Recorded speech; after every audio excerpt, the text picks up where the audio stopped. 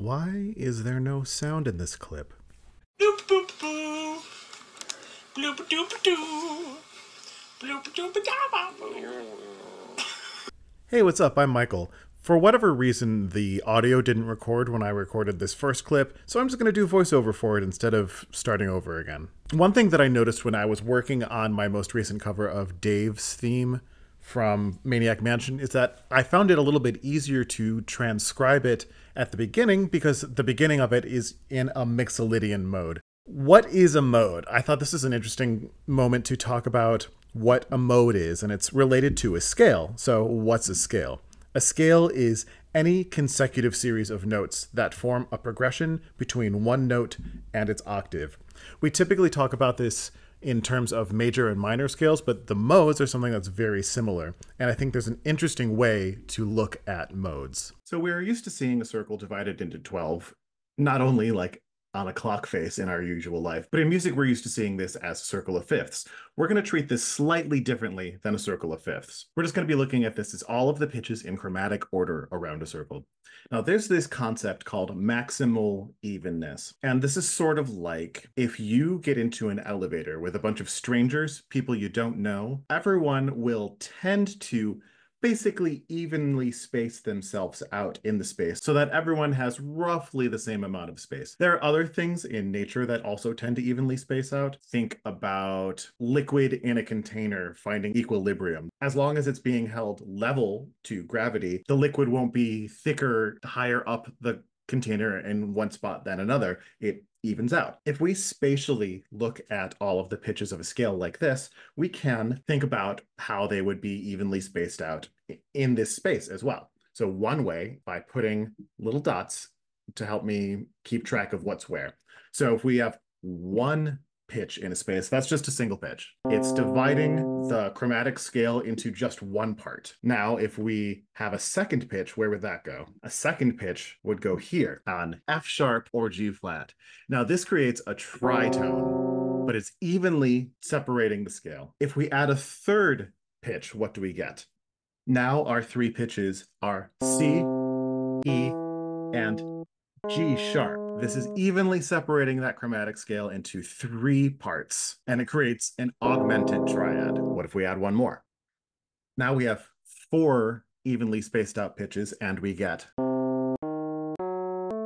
a fully diminished seventh chord. Now, if we were saying this is a fully diminished seventh chord, we would normally spell this as B double flat instead of A, but we're thinking in enharmonics for right now. What if we have one more pitch? Things start to get more interesting. Here, there's no way for it to be exactly perfect, but what we end up with is a pentatonic scale, five pitch scale. They're roughly as even as they could be. There are two spots where there are two spaces between, but everywhere else there's just one space between, as even as it can be. Then, what if we add another? Here we get a whole tone scale. Those are the maximally even distributions with up to six pitches. There's another one that is still balanced, but not exactly maximally even. That's the hexatonic scale.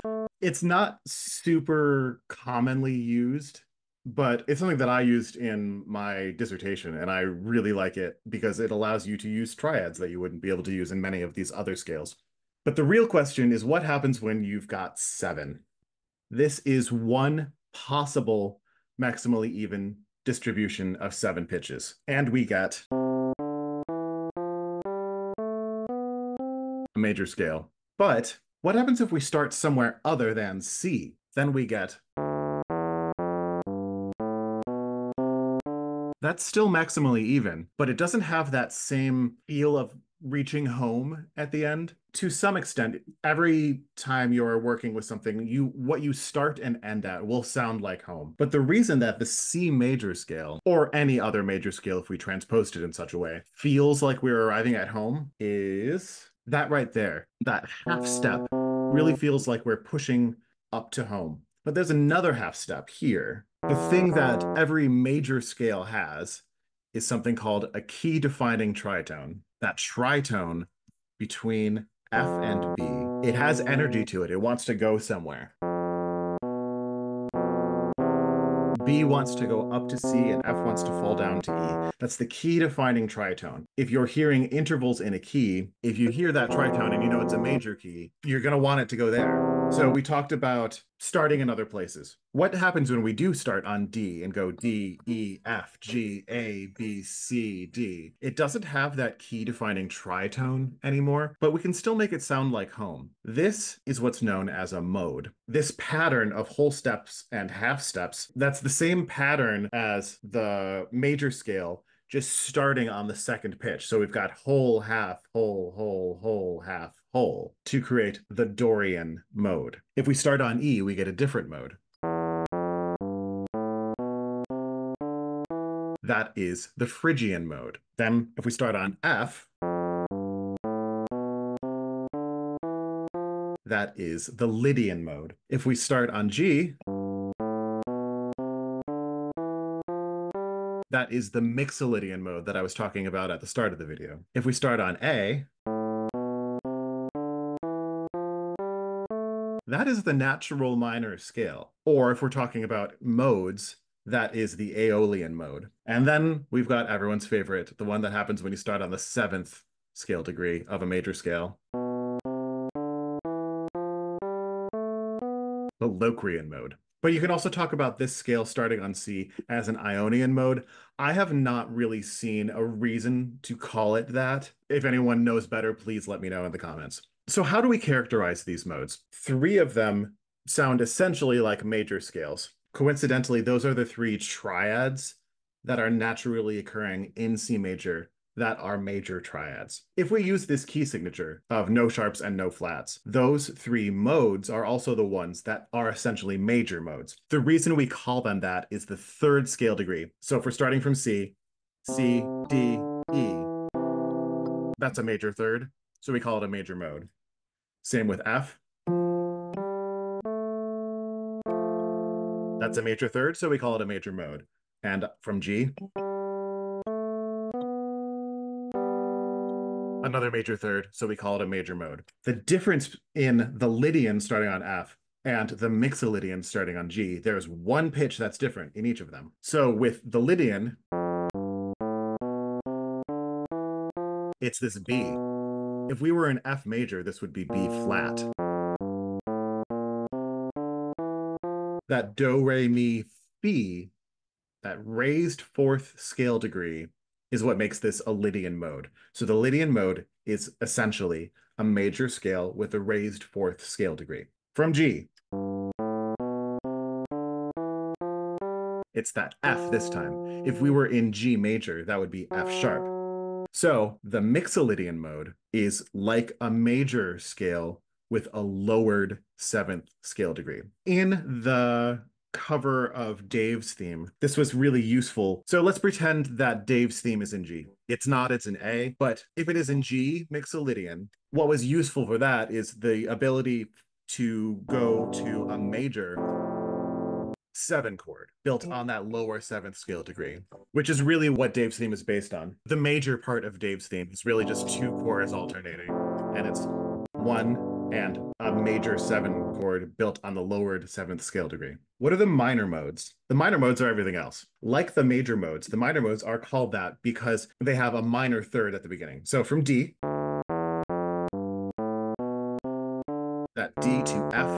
is a minor third, so it's a minor mode. The Dorian mode is essentially a minor scale with one pitch changed. What is that pitch?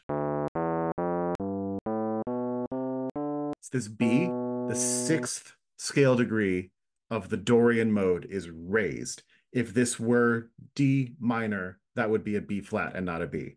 So here's D minor.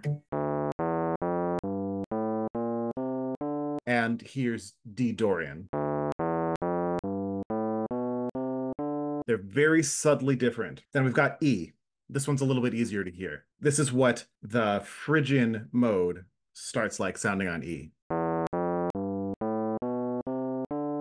So once again, it's a minor mode because it's that minor third from the root. What's different about the Phrygian mode compared to the minor scale? The second scale degree. In a minor scale, you'd normally have F sharp, G. But here in the Phrygian, it's E, F natural, G. Moving on to A. This is, again, the natural minor scale. So we can sort of skip that one because now we can get to the most interesting one, the Locrian mode. What's different about this one compared to a normal minor scale?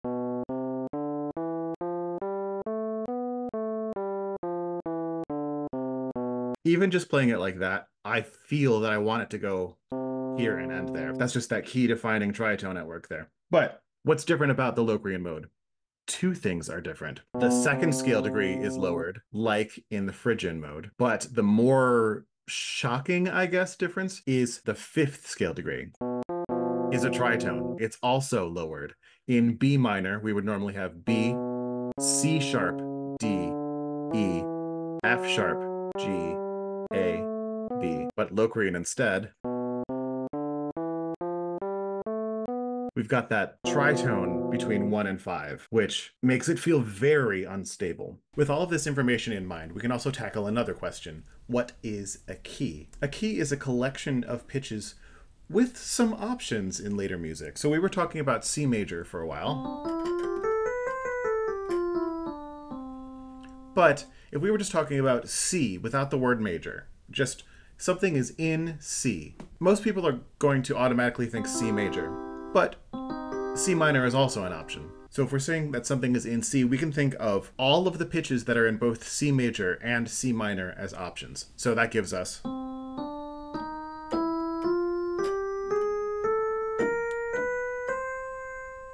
lot of options. A composer, especially after the common practice period, will use those pitches sort of interchangeably when they want a certain mood at a certain moment, if they're still thinking in tonal sense, if they're still a tonal composer. But you can also use the things that come from the modes, like the lowered second scale degree of Phrygian and Locrian.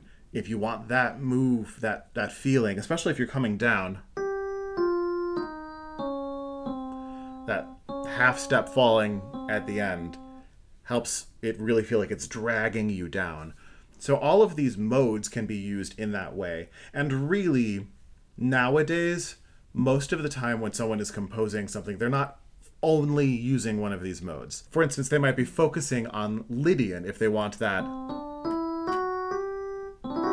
that really bright ascending feeling to happen there. But they're probably not going to only use that mode. They'll use other things as well, depending on what they want the music to do at any moment. For instance, there's the song Lydia by Fauré.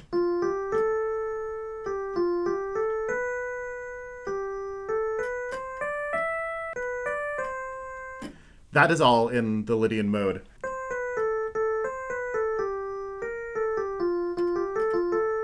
but the fourth scale degree at its normal major feeling comes back as well, not raised. The other thing that is interesting about Dave's theme is that it uses a lot of pitches from the blues scale. And that's a topic for another video that would require a little bit more research for me because I am not trained in blues or jazz theory, but it's super interesting. But if you want to see a really good discussion about some blues scales included in a video, check out 8-Bit Music Theory. There are also videos on that channel that go into deep dives into all of the modes that I talked about in this video. So if you're interested in learning more, I recommend going there. Those videos are always great great. That should be about it for today.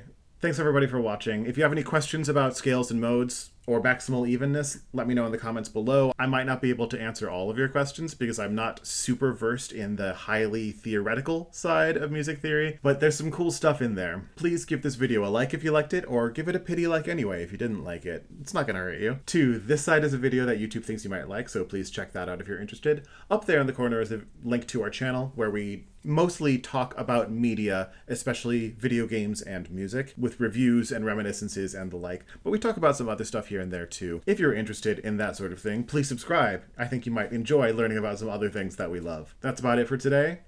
Maintain your groovy selves.